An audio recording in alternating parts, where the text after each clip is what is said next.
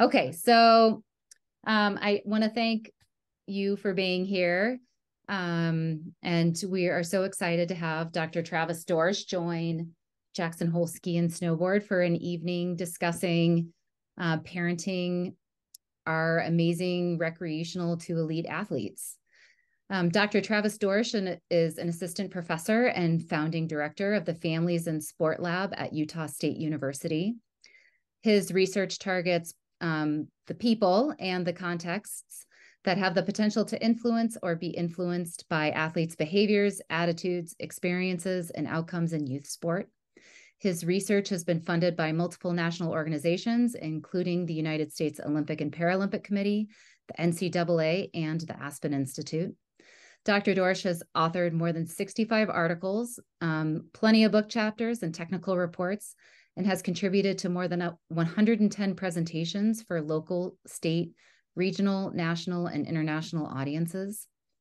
His research findings have been highlighted in outlets such as the New York Times, the Wall Street Journal, USA Today, and Time Magazine, and are used by sport governing bodies within the US Olympic movement, recreational and elite youth sport organizations, and sport coaches and parents to construct more development developmentally appropriate sports contexts, and to evaluate the role of youth sport in contemporary society. Um, Dr. Dorsch is a former member of the National Science Board for the President's Council on Sports, Fitness, and Nutrition, a research fellow for the U.S. Center for Mental Health and Sport, and a member of the steering committee for the Utah Olympic Legacy Foundation's Sport 2030 initiative. He was also named to the 2021 Early Career Distinguished, Distinguished Scholar by the North American Society for the Psychology of Sport and Physical Activity. So please join me in welcoming Dr. Travis Dorsch. And thanks, Travis, for being here this evening. Uh, thank you so much for the the wonderful, uh, albeit long-winded introduction. Um, it seems like the further I get in my career, the more fun opportunities I have to collaborate with wonderfully smart people all across the country, people who care deeply uh, about youth sport uh, across a number of different sectors. And uh, in that spirit, I'm really happy to be here tonight and and to share this talk with the folks who are here live, as well as those who will watch later uh, on their on their own time. So thank you for having me. Really appreciate it. Um, as we dive in tonight, I, and I was thinking about kind of framing this talk, I, I wanted to frame it around this idea of antagonists or allies, right? And and as parents, I think we have the choice to be either or or anywhere in between. And i think those of us who are parents know that sometimes this can vacillate day to day even hour to hour or minute to minute. But all of us i think strive from a place of love to be allies to our children and, and really share their journey for sport and help them grow their love for for moving their bodies and doing so in a way uh, that makes them excited and happy to continue doing that uh, for really a lifelong uh, uh you know pathway towards physical activity. And i think that's one of the great things about about skiing and boarding and all these winter sports that we're involved in here in your club is that they really can be and should be uh, lifelong activities even beyond the days of competition. I want to transition then in the back half of the talk to talking about some work, speaking about some work that we've done over the past um, couple of years with the United States Olympic and Paralympic Committee in building out this quality parenting framework. It's now live. Uh, it's something that they're utilizing from the grassroots to the treetops in terms of athlete development. And we're really proud of this document. And I want to share some kind of core lessons from the document with you tonight. So um, I'm going to not spend a ton of time on this slide because of the uh, wonderful introduction that Laura gave, but but know that you know I am engaged in this on a daily basis as a professional, as the founding director of the Families in Sport Lab. Our our research really does look at all these these micro to macro systems that influence athletes' experiences in sport um, and, and, and really trying to then translate that research that we do uh, in the spirit of the land grant mission of Utah State University, translate that to the key stakeholders uh, and the boots on the ground, folks like you that are interacting with athletes um, on the daily. Now, I come to this not just through a professional lens, but also through my own personal lens. As a young athlete, I participated in more sports than I can count. Um, my dad was the the dad that was always out there coaching. My mom was the mom that was making sure everything ran smoothly behind the scenes. Much like a number of American families, um, I did it all. Uh, in high school, I pared that down to four core sports, mostly ball and team sports. Um, was always a skier, never a ski racer Um, kind of did that in the off time in the down season, but played football, basketball, baseball, and ran track and field. Um, kind of all the offerings that you would expect at a, at a typical um, high school level. In college, I was fortunate enough to continue playing two of those sports, um, football and baseball, and was fortunate enough to then have um, a short three year career playing professional football at the end of all that.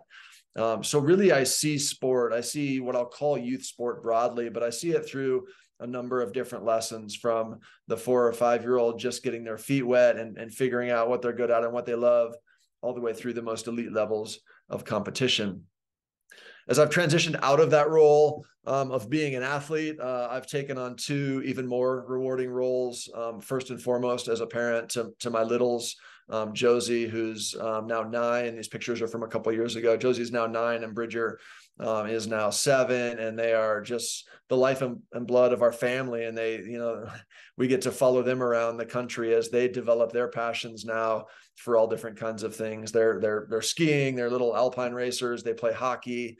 Uh, they do dance, soccer, flag football, baseball, um, basketball. You name it. They're kind of following in, in our footsteps in just being introduced to everything and and finding that pathway that they can fall in love with another lens that I've added over the past uh, two or three years as they've gotten into their young little alpine racing careers is having taken over uh, for the longtime director of Cache Valley Ski Team, Ignacio Berkner.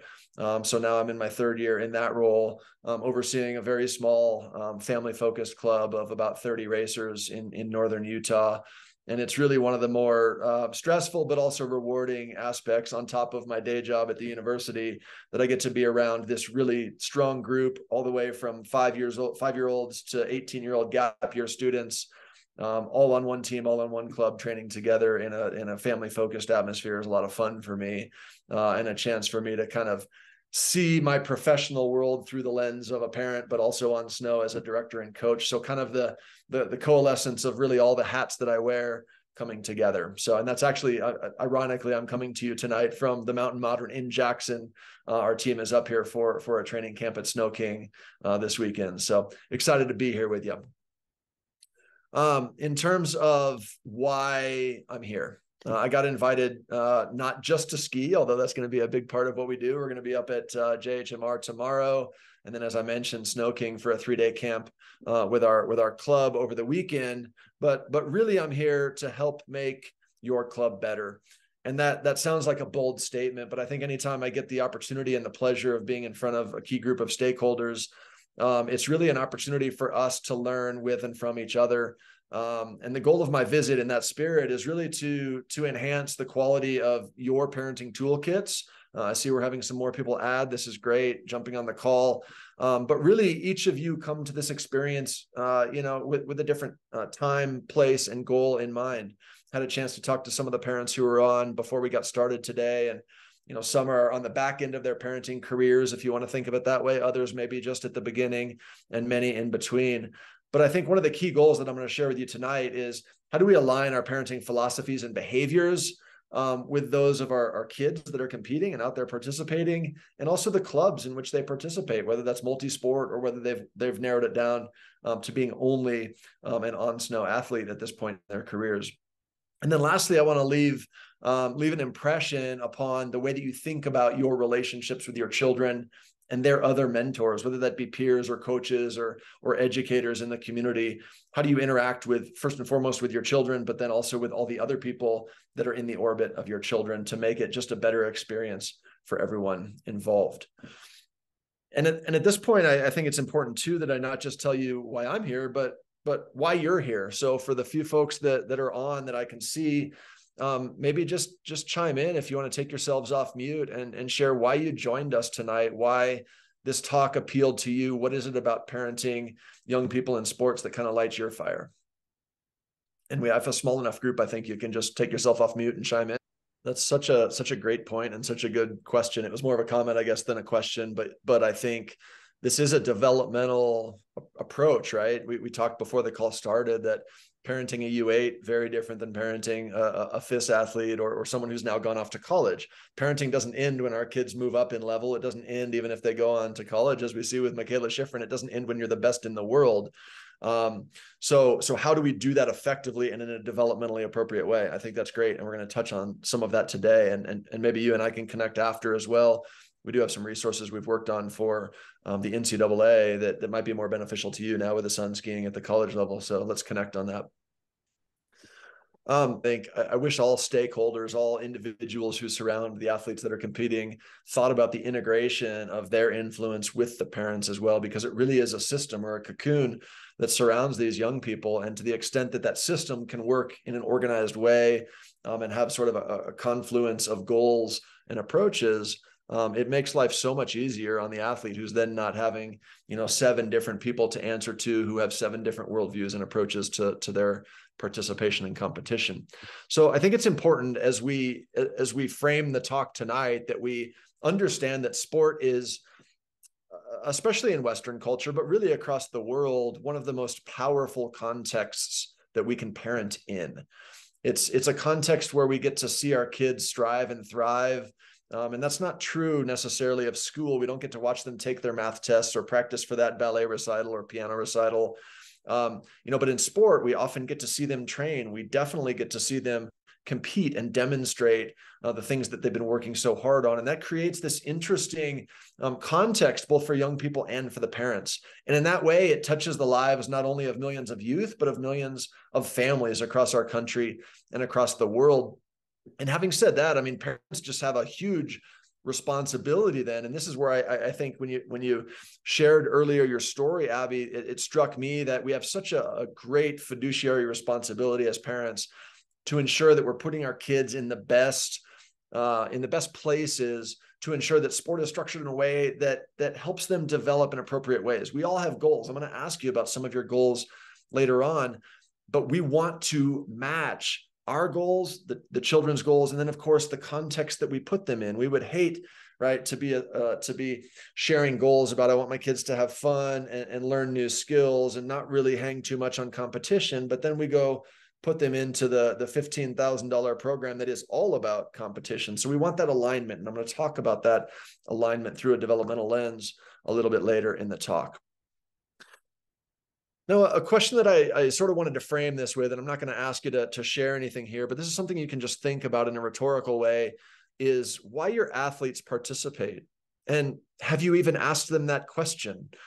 You know, what is it that fires them up? What what is it that gets them going? And if you haven't asked them that question, I would I would encourage you to do so, whether you're at the at the starting gate right now or your kids are at the very end us knowing as parents why our young people are engaged in the first place helps us be better parents to them. And this is not just a conversation you can have once because the answer will change. This is a conversation we need to have, you know, yearly, seasonally, uh, monthly, weekly, sometimes even daily. Why are you here? And it also helps the athlete. It doesn't just help us by giving us information as parents, but it helps the athlete sort of recenter and understand that on bad days or good days and everything in between, that their core reason for participation can still be right term deemed success. No matter where they are on the podium or in last place right what their goals are we can focus on that as parents and help them achieve that as parents. Now if we take a step back let's look at this kind of from from 40,000 feet here for a moment. In terms of what the literature says about why athletes participate and this is athletes from again the grassroots to the treetops U6 to Olympians. When we ask people why they engage in certain activities, the human nature that comes through is we all want to demonstrate competence. In the in the case of sport physical competence. But look I, am giving a talk tonight. I want to be a great speaker for you. All of you have various roles whether that's as a spouse or a partner or an employee or a director of a club or whatever it might be. In those roles we all want to be successful. We want to demonstrate competence. And athletes are no different Nobody wants to do things, excuse my non scientific language here. Nobody wants to do things that they suck at. And if you do, your goal is to get better, right? What we want to do ultimately is demonstrate competence, either through growth or through being quote unquote good at what we do.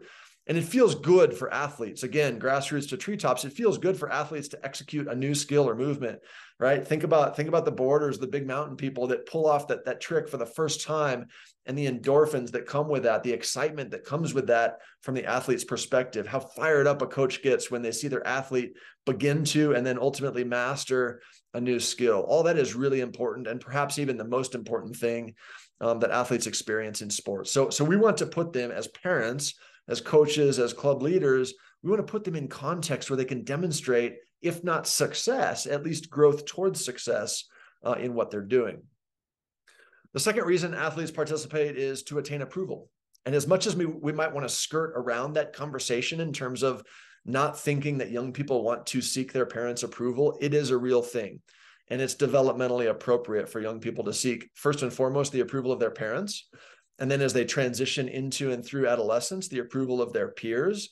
And as they trans- transition out of adolescence into young adulthood, the approval of trusted mentors like coaches. And that's really a developmental sequencing that we know to be true in sport as well and it feels good you guys it really feels good whether you're the, the last player on the basketball team or the the, the skier who's kind of struggling uh, with, with with things on the slopes it feels good to make progress right towards mastery and see that glimmer in the eye or that smile or that pat on the back or that approval approval thumbs up from a peer from a coach or from a parent and we all want that in sport and then the third reason, and and and maybe I'll argue with what I said earlier, and this might actually be the most important, and that is simple enjoyment. We all, as humans, enjoy moving our bodies in different ways, and that's why people gravitate towards different sports. But when we find that sport or that that physical activity opportunity that we truly love, we want to move our bodies and enjoy the embodied experience of being an athlete, whatever that means to us, right? It simply feels good to do things with our bodies. And this, I mean, the study of this goes back to the ancient Greeks and the ancient Romans who, you know, their, their philosophers would study bodily movements. And this is why sport was such a big part of those cultures and has continued to be a big part of Western culture today because it simply feels good to move our bodies um, in ways that foster enjoyment. Okay. So, with these three reasons or rationales for why athletes participate, I want to bring it back to the group now, and, and I'll, I'll, I'll have you think about this again, sort of a rhetorical question. What's most important in sport?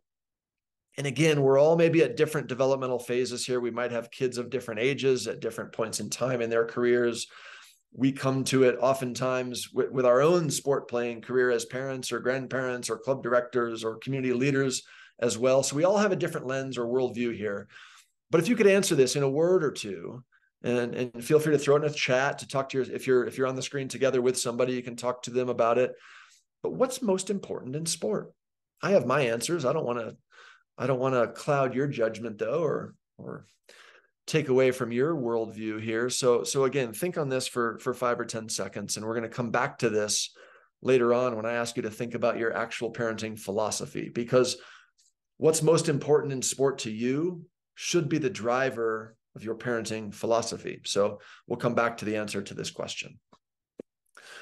Now, having said all this, right, we talked about moving your body, we talked about enjoyment, we talked about demonstrating competence.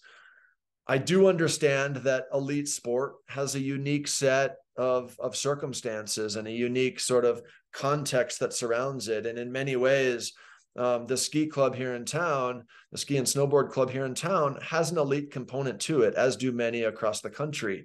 And with that comes the addition of you know a high level focus, right, of, of developing athletes to really achieve at an elite level in competitive settings. We can't skirt the idea that talent identification is important. That from the time kids are U8s, we are looking to improve them compared to their former selves, but also compared to their contemporaries who are skiing with and against them. Expert coaching comes into play, and of course, that's not cheap. And when we bring in, you know, money into the equation as parents and families, we have a whole different set um, now of expectations that come with participation and competition. There are those high expectations and the financial commitment and the competitive exposure. And very quickly, sport can be something that goes from the enjoyment in the here and now to a means to a certain end or the expectations of a certain end that might be down the road at the end of the tunnel. So I don't want to ignore this, but I also don't want to put it on such a pedestal that this becomes the only end goal. Because I think there is, um, I don't think there's mutual um, exclusiveness or exclusivity between those three goals that I just shared with you and participating at an elite and competing at an elite level. And I'm going to share some of the reasons why as we move forward. But nonetheless, when we look at elite youth sport, it kind of sets up this important conundrum, right? Do we value, do we privilege competitive success, however we might define that? Or do we value and privilege the development of the whole athlete? And do those again have to be mutually exclusive? I'm, I'm sort of hinting or foreshadowing at where we're going here. And I think in a lot of elite clubs where money and resources are high and coaching is at, a, at an elite level, we tend to kind of push up on the scale here for competitive success and down on the the typical developmental outcomes that we might associate with with youth sport at the, especially at the youngest levels. The alternative is that we put our kids into a bunch of rec programs where competitive success is not necessarily valued but development is. Learning all of those really important life lessons that we often associate with sport participation and competition and I would argue tonight that it's not actually a conundrum. Let's cross that out. That competitive success and development actually go hand in hand, that we can accomplish both together when we focus on both together. And what I'd like to focus on for the remainder of the talk is this idea of transformational parenting. And look, this idea of transformational parenting, we can put in whatever role we want. It can be transformational coaching, it can be transformational academic advisor, it can be transformational friendship. Okay, I'm going to share with you some some some principles that I know to be true from the science in terms of how we can be transformational in the relationships that we have with athletes such that they can achieve a lot of competitive success, at least to the ceiling of their ability, as well as really innumerable um, rates of development in terms of the good people that they will become through their sport participation. So, what do I mean when I say transformational? I mean, I think that's a word that we all sort of understand and, and can appreciate. But when when we put it in the context of transformational parenting, it's really a child centered practice whereby parents develop athletes into leaders, okay, through behaviors designed to empower, inspire, and challenge. And I love those words. If you can hang your hat on something from tonight's talk as parents, empower your children, inspire your children, and challenge your children, okay? Because they are, I use the word here purposefully, they are future leaders. They are the future coaches, they are the future directors, they're the future community leaders in terms of, you know, when it's our time to step aside and turn the world over to them, the lessons that they're learning today as U8s, 10s, 12s, 14s, FIS skiers, college skiers, young adults, those lessons that they're learning will be their toolkit when they take the reins uh, in the next generation. So we need to do a good and purposeful job of being transformational in our parenting styles and approaches. And when we think about transformational uh, parenting, it's really but but sort of one approach or outcome, however you want to look at it, on this kind of two by two matrix of how effective are you as a parent, which is, of course, lies on the vertical axis here. And then how engaged are you as a parent? And I think as you think about your peers, your parent peers on the club or those you know in the community, some are more or less effective and some are more or less engaged. So let's look at, at kind of this full rate, what I call a full range model of parenting behaviors here. We've all met or known, hopefully we aren't um, the toxic parent but toxicity in parenting is something that absolutely comes from a parent who's very engaged. This usually comes from a place of love, right? They, they want so much to see their children have success, but they're ineffective in their strategies at doing so. And toxicity comes in the form of um, a demandingness without support. It comes in the form of yelling and expectations without the scaffolding it comes in the form of um, you know expectations towards perfectionism right? That there's no room for growth and learning and failure. Um, so again this comes from a place of wanting to see our children succeed but not necessarily having the toolkit to do so. On the other side of the spectrum and this can be this can kind of range on the the scale of effectiveness. It can be more or less effective. Um, but but definitely on the on the left hand scale of engagement in terms of not being so engaged this idea of laissez-faire parenting this this sort of i'm going to kind of step aside and and and let my children experience the free range if you will and make their own decisions and learn to succeed and fail on their own. And this is definitely a common parenting strategy both in and out of sport. But where that leaves our children is to have to make all the mistakes themselves and not be able to learn from the mistakes that we've already made or that we've seen others make right? And this is definitely an approach to parenting that that has some merit because it does allow our children to, to gain independence. There are certain good things about this um, but also when we take this hands-off approach it allows them maybe to make more mistakes than needed to get to that desired end goal. Neutral parents sit kind of right in the middle. They're they're sort of doing the bare minimum. They're not really doing anything that would mess their children up, but they're also not necessarily doing anything that would allow them to find their ceiling of great strengths and, and potential. Um, they they vacillate on the scale of effectiveness and ineffectiveness and engagement and disengagement. Transactional parents, I think, where is where a lot of us lie on the day to day, right? And and transactional parenting is basically a quid pro quo occasion where I do something for my child and I expect something in return, right? I send them to a ski camp and I expect them to come back and perform better. I invest in uh, their gear or their coaching or their off-season strength and conditioning, and I expect them to make physical and mental jumps into the next season.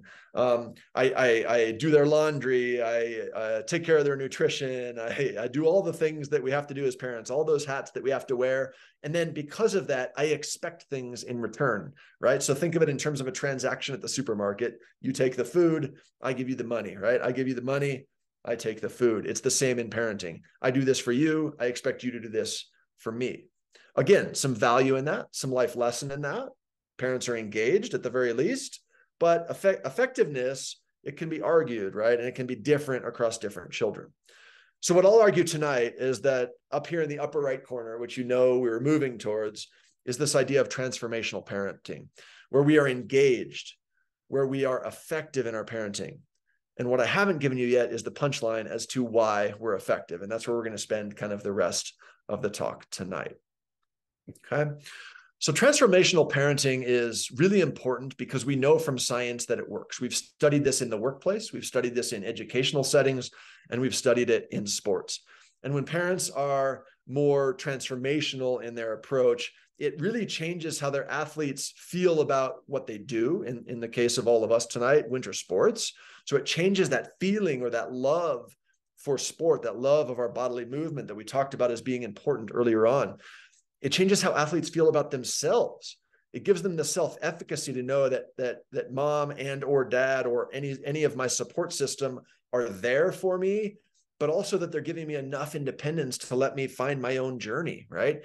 And it also changes how athletes feel about those other relationships around them, how they approach peer relationships, how they approach their coaches in terms of, of taking that coaching relationship. And then as people move to more elite levels, that kind of reciprocal relationship between athlete and coach. And then also the environment. How much do I actually love what I'm doing? Okay. So transformational parenting can affect all of this in a really positive way. Having said all of that, we set out three years ago in collaboration with the US Olympic and Paralympic Committee to develop a framework around this idea of transformational parenting um, that could live in perpetuity for all the parents who are coming up at the grassroots level and for all the folks that are living at the elite levels. And I think anytime we see the flag and the rings on something, we tend to think that it's only for those elite level competitors who are representing our, our country on the national and international stage. And this document is not that. It, of course, applies to them.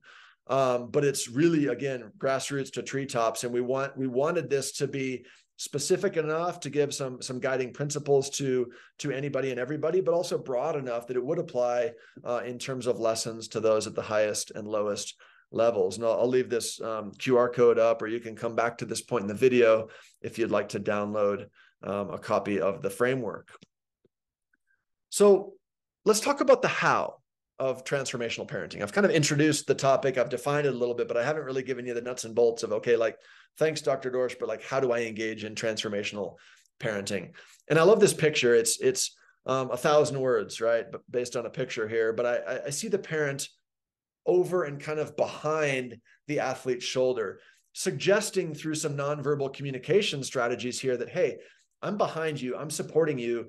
But as the athlete looks off potentially at the course or potentially at another competitor that's out there on the course, um, you know, you can sort of see that the, it's not the parent's journey here. The parent believes and feels that that they need to be behind the athlete, supporting the athlete, potentially there in their ear if they need something, but it's all about what the athlete sees and feels and hears and does on the snow. And of course, I'm, I'm putting a lot of words in here that maybe aren't in the act. This is one still photograph, um, but but I use this very much on purpose to demonstrate that parents are always involved to to a greater or lesser extent, depending on the age and ability of the child. But that involvement doesn't really ever end, whether you're there helping buckle boots at the earliest years or you're there simply as a fan and supporter and voice on the other end of the line later uh, later in the athlete's years parenting is really really important so when we talk about the idea of transformational parenting i wanted to kind of frame it in terms of four jobs. Let's call them jobs that i would encourage parents to take on. And the first job that can be transformational in where children ultimately go is to provide athletes opportunities. That can come in the form of multi-sport participation. It can come in the form of opportunities even within a sport to explore innovate make their own decisions um, at the youngest years I, I, mentioned earlier i have a nine and a seven year old uh, and i do a lot of coaching with our, our u8s 10s and 12s so kind of the younger end of the spectrum.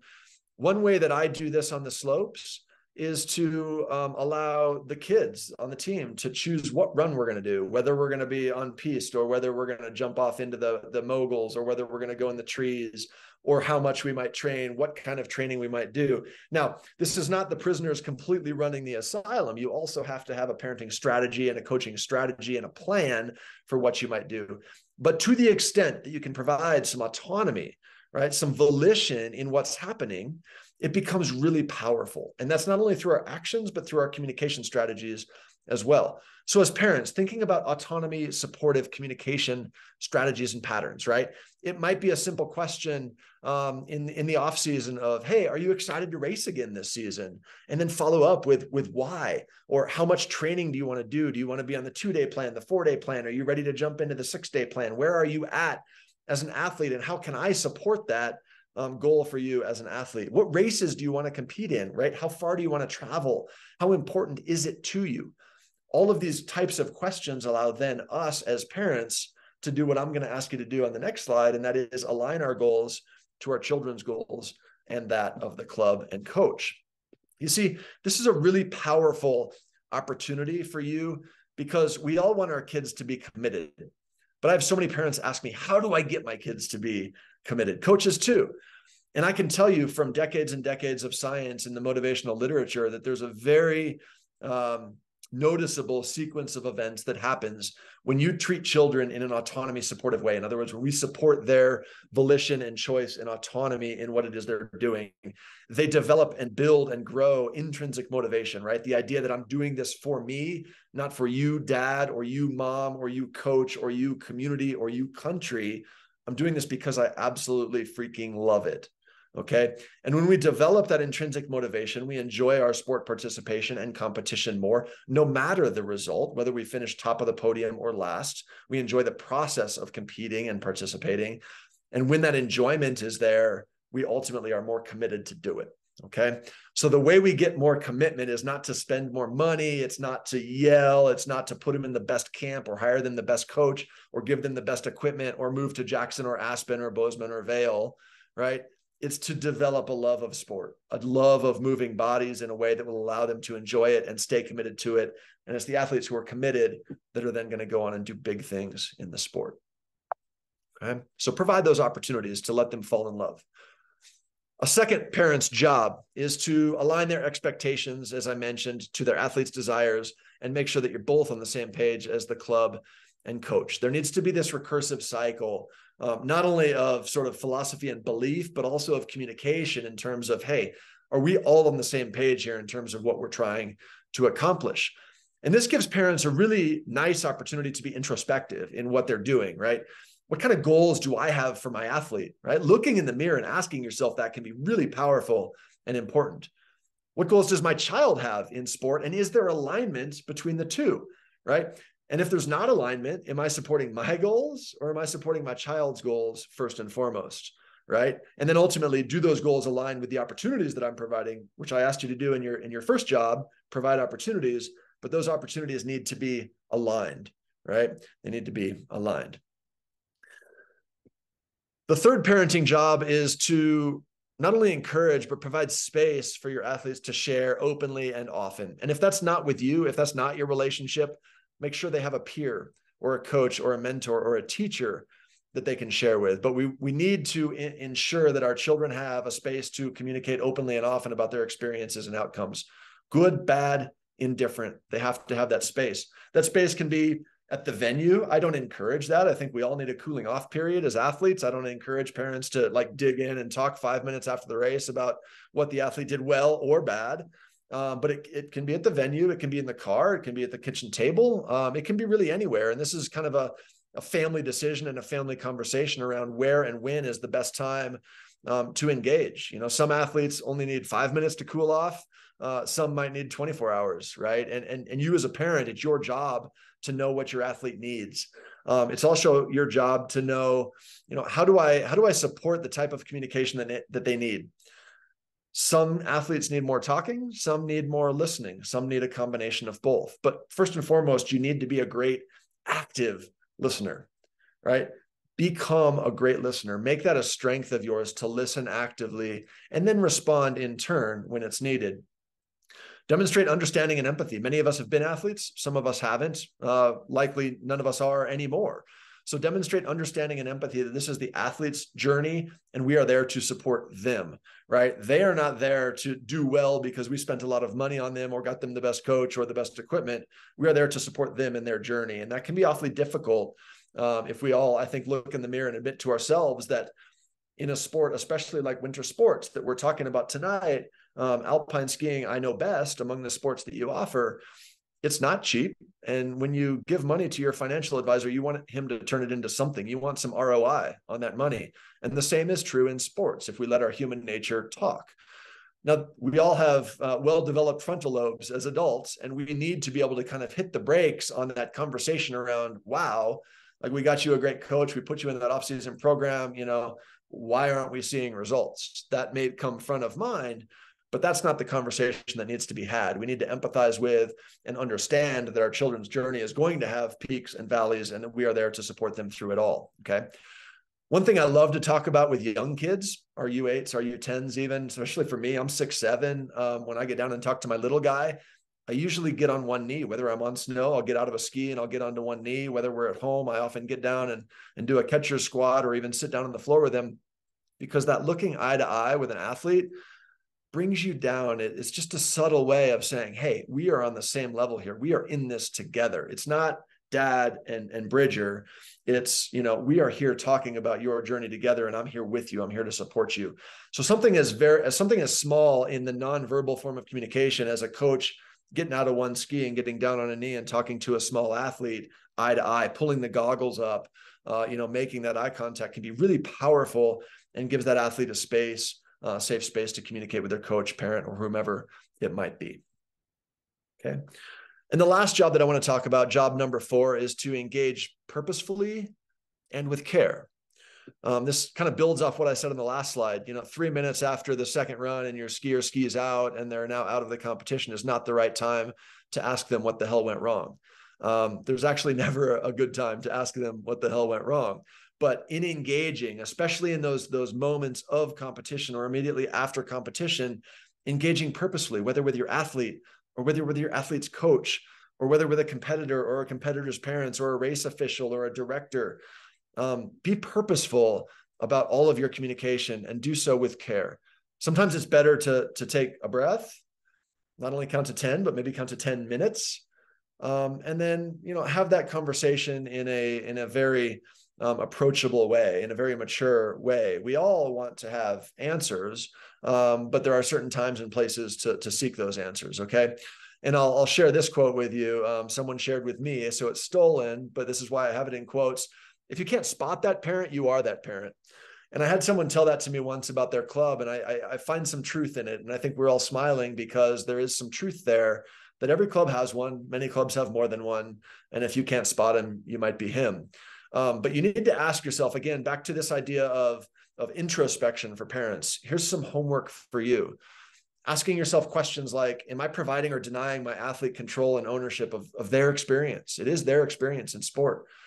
Is the quality and quantity of my involvement allowing my athlete to thrive? Or am I stifling that growth? I need to know my role, right? One of my one of my baseball coaches growing up always said, "Know your role, right? You might be the starting pitcher, you might be the the the star hitter, you might be the 25th guy in the bench who only sees a couple innings a week. But if you know your role, you can master your role. So as a parent, know your role. What are you? Are you the the chauffeur, the nutritionist, the the sleep therapist, um, the sports psychologist, um, the, the the purchaser of all the equipment? Right? Those are all a lot of roles that parents have, and we should we should own those roles are we there as a, as a shoulder for a kid to cry on or an ear for them to talk to? Or are kids ready to kind of be more on their own and we're simply in the backdrop, right? So know your role and master that role. And then ultimately prioritizing the growth, psychological, socio emotional, not just of your athletes. This is the kicker here, guys, but of their teammates. Be in it for the team. And yes, even their competitors right? I love skiing so much. I've fallen in love with the sport over the past many years since my kids have gotten into it because, for the most part, parents are super psyched when other kids ski well, whether it's kids on their team or kids on other teams. We just want to see kids out here having fun. And sure, maybe the, there's that voice in the back of your head that's like, wow, my kid could do better if the other kids didn't. But that's not what this sport is all about. It's about our kids maximizing their potential. And wherever they fall in the spectrum of top of podium to last place, we got to be happy for that journey for them and being happy for all of their teammates' journeys. And yes, even their competitors, especially Cache Valley when we see you guys at uh, IMD Champs. All right. Perfect. These are four really, really uh, purposeful jobs that we can take on as parents, really key core ways that we can think about our engagement with our athletes, with their coaches, and with the clubs and their communities. All right. And I want to share here for a moment. I'm going I'm going to move your beautiful pictures in the Zoom world here up so I can read this quote to you. But this comes directly from the quality parenting framework, which of course I co-authored with, with many wonderful scholars around the world. The appropriate quality of parents' involvement can help youth reach their athletic and human potential while fostering a lifelong love of sport and physical activity. Now, these are things I've talked about so far in the, the talk, right? help youth not only reach their athletic potential, but also their human potential. And when skiing is done, whether that's as a 12 year old or whether that's as a 36 year old who's retiring after four Olympic cycles, we want them to have a lifelong love of sport and physical activity. Okay. When parents' involvement lacks this quality, maladaptive outcomes such as dropout, injury, and burnout are more likely to occur. So, directly or indirectly, you as parents and the way that you involve yourselves in the lives of your young skiers and boarders and athletes in general has an opportunity to either push them towards their potential ceiling and or leave them in a place where dropout injury and burnout are more likely to occur. And that's a huge responsibility. And it's a responsibility that you have to be intentional about right? So becoming a transformational parent requires being an intentional parent. And so I want to spend the next few minutes here talking about parenting philosophies. And I'm going to have you guys um, work on a short parenting philosophy. So begin thinking backwards towards at the beginning of the talk when I asked you what it meant to be an excellent parent. And I want you to keep those words in mind because we're going to put it into a paragraph here in a moment.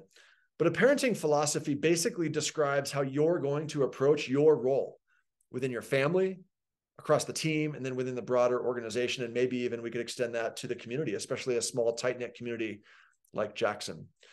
A parenting philosophy reflects three things it reflects your beliefs, your values, and your standards. Now, notice that none of those are sport specific, right? So your parenting philosophy is bigger than sport. In fact, your sport parenting philosophy should be driven by your broader general parenting philosophy in terms of your beliefs, values, and standards.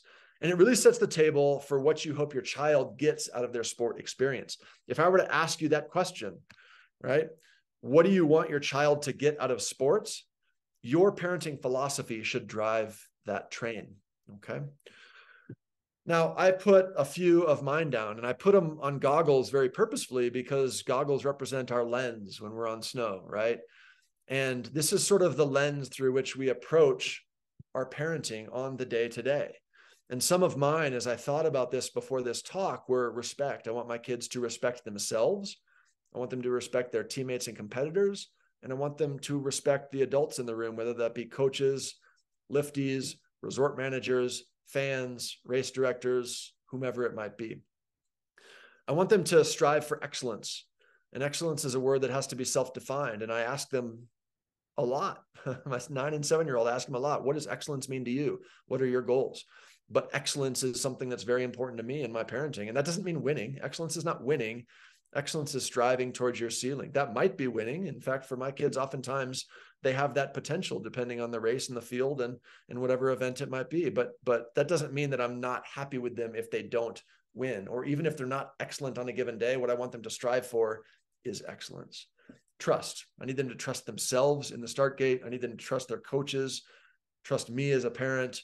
Uh, again, trust those resort managers, trust everybody around them, and have that faith that the journey is the journey and they're on it for a reason. Honesty, accountability, integrity are three others that that I ask my kids um, to have, and I think we should all think about the beliefs, values, and standards that are meaningful to us and I don't mind if you steal mine. I don't have a co-op on on these words. There might be similar words or others that are meaningful to you in your parenting journey, but I ask you to write those down right now to think about those, put them on your device, come back to them, use them when you talk to your kids, okay? I want to give you three real quick examples. I'm just going to run through these real quick and read them. They're from different sports. They're from families and parents that I've worked with in past um, opportunities to engage, but I think there's some benefit from hearing other parenting philosophies before I ask you to create yours. I'm able to foster growth in my children through the numerous opportunities I'm fortunate to provide them. I want them to learn to communicate, to be responsible, and to hold themselves accountable. I believe in nurturing their dreams to be the best on and off the court. This was a basketball dad who shared this quote with me, and you'll see a lot of what we've already talked about today embedded in this quote or this parenting philosophy that I asked him to write.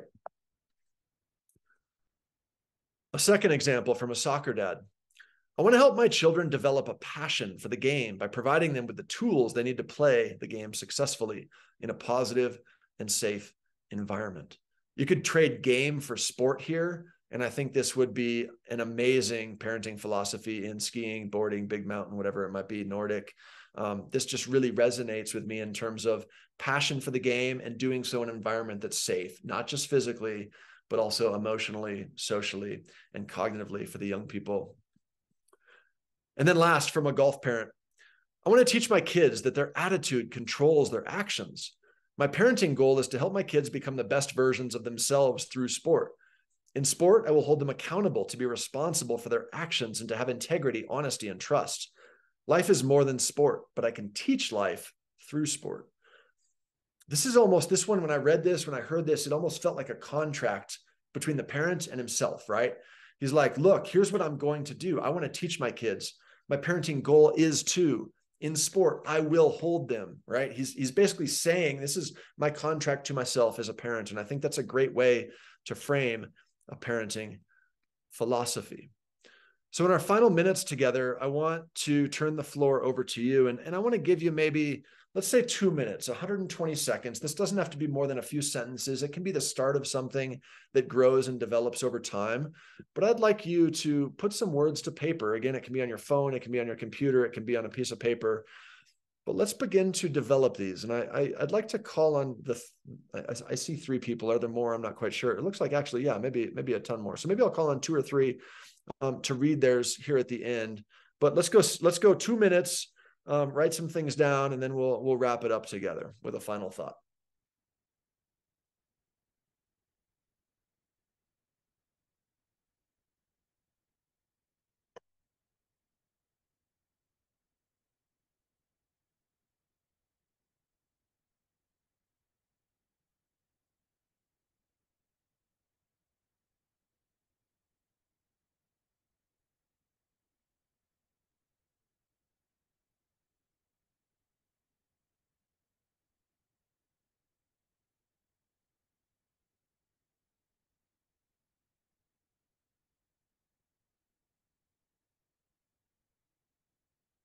All right, let's go about another minute here as you're, I see some folks writing some things down.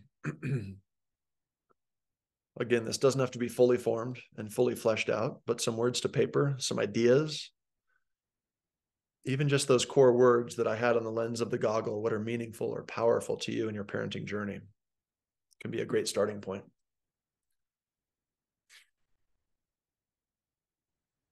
Yeah, that's that's an amazing start for yours. I, I, I would love to see that in its fully developed form because I think peers and friendships is something we haven't talked a lot about tonight that are that it's so powerful um, you know, I know a lot of um, elite and now retired skiers, and the one thing that they always talk about, and the one thing that I see on social media is the relationships. It's the people when they come back for their reunions.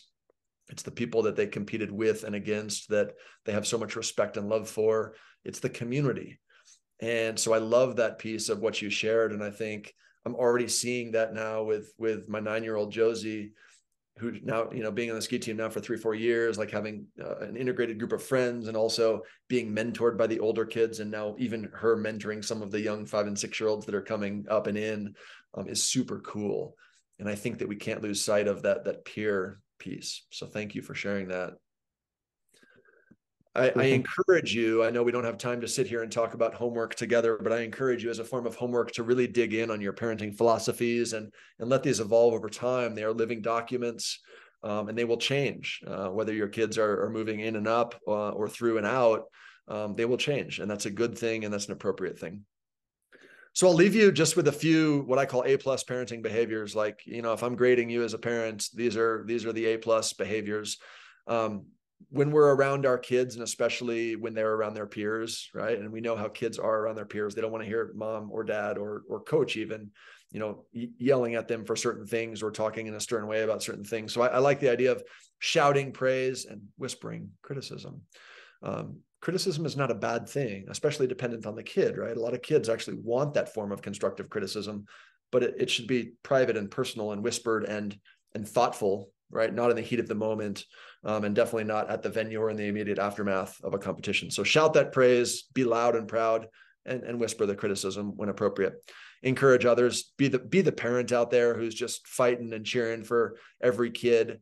Um, one of the things I love most is the kids who aren't really great skiers, and you see them improve so much over the course of a season and I'm getting a little teary even thinking about this right now. But we had a kid last year that that couldn't even get their skis parallel at the beginning of the season, and and then at the end of the season in the in the final event, um, finished in the middle of the pack and was just so proud to to have made so much progress over the course of the season. And to me, that's maybe even more powerful or meaningful than the kid who's able to shave three tenths off, right? And and finishes top of field, you know, at the final race. So encouraging those kids encouraging them because that's how we bring them back next year. That's how we give them that opportunity to fall in love with the sport, show even more growth in their in their athletic journey, but then even as a lifelong journey as as someone who just loves being out here doing the sport. Give away ownership of the experience. I'll put in parentheses at the appropriate time. Um, but give away that ownership. It's your kid's journey. Be there to support them, but but never forget that it's their journey. Model the behavior you ask for if you want them looking uphill when they when they cross the piste you look uphill when they cross the piste. If you want them saying thank you to the the lift operator you say thank you to the lift operator. Um, if you want them strapping their skis you strap your skis. You know what i mean? Like we need to be they look to us as models um, and we need to be those models for them. And i would apply that to coaching as well. So you coaches out there if you're listening to um, it's not a do as i say not as i do. It's a they're going to do as you do. So so do it wise wisely and then I, I, play on this sort of crossed out welcome here and actually say we should be not only welcoming feedback, but we should be actively seeking feedback. Have a parent peer, have somebody that you can talk to, an accountability partner, if you want to think of it that way, that when you maybe go a little bit sideways off the rails, they can bring you back in and you can do the same for them. Whether that's a family that you love and trust and your kids are friends, right? Be those people for each other. Seek the feedback from your kids about, hey, what am I giving you that you want and need more of?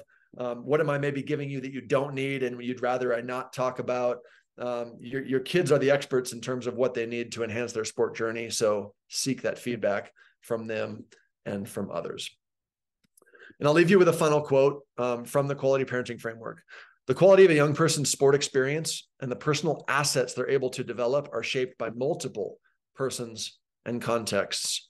And among those, the most salient is parents. You have a great responsibility. We have a great responsibility um, to ensure that our kids fall in love with this sport and, and take the reins of that journey for themselves. And, and the most beautiful thing I've seen is when a parent can then take a backseat, take their hands off the wheel, and allow their kids to fully embrace and, and love that journey. And they're there to support them. And that's what this is all about, guys, is, is giving the journey and giving life over to them. So I thank you for your attendance tonight. Um, if you find me, I'll be the big six, seven tall guy on the slopes the next four days wearing an orange Cache Valley ski team jacket. Stop me if you see me on a lift at Jackson tomorrow or at Snow King over the weekend. Would love to chat more uh, and introduce you to my beautiful kiddos. And uh, otherwise, we'll see you on the race circuit this winter. So thank you so much.